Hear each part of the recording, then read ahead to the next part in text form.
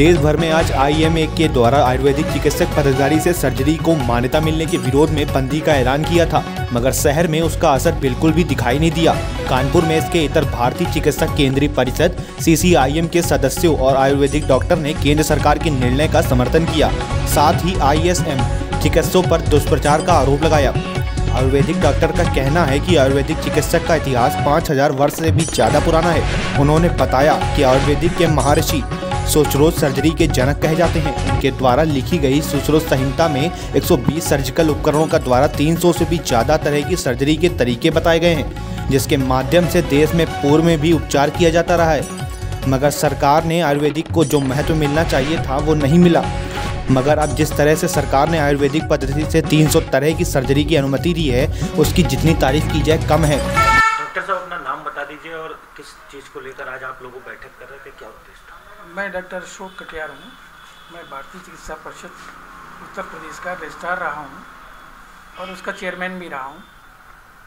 ये हमारे जितने आयुर्वेदिक चिकित्सक हैं बीएमएस डॉक्टर्स हैं बीओएमएस डॉक्टर्स हैं, इनका रजिस्ट्रेशन भारतीय चिकित्सा परिषद में होता है। भारतीय चिकित्सा परिषद इस बात का अधिकार देती है, डिग्री लेने के बाद, यूनिवर्सिटी डिग्री लेने के बाद, कि आपको किस प्रकार चिकित्सा करनी है।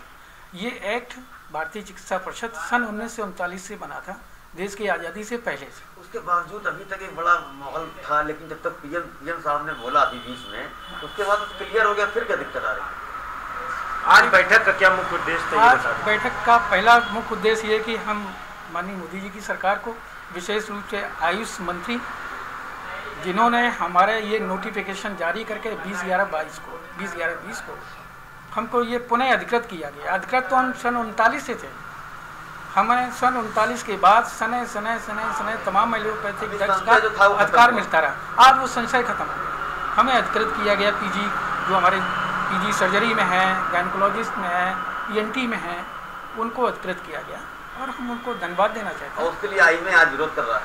आई आईएमए विरोध कर रहा है। जितना विरोध कर रहा है उतना ही हम लोग सरकार को साथ देने के लिए आज ज़्यादा मेहनत करेंगे। हम लोग निःशुल्क चिकित्सा करने का बिगड़ा उठाया आज के दिन?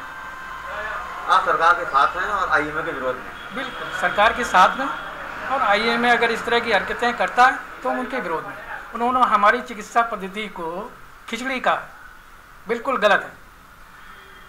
मिक्सोपैथी हमारी इंटीग्रेट चिकित्सा पद्धति को खिचड़ी का है। खिचड़ी तो अगर केवल दाल या केवल चावल की बना दीजिए तो वो अच्छी नहीं लगेगी। खिचड़ी का ही स्वाद अलग होता है। इंडियन प्राइम न्यूज़ से ब्यूरो रिपोर्ट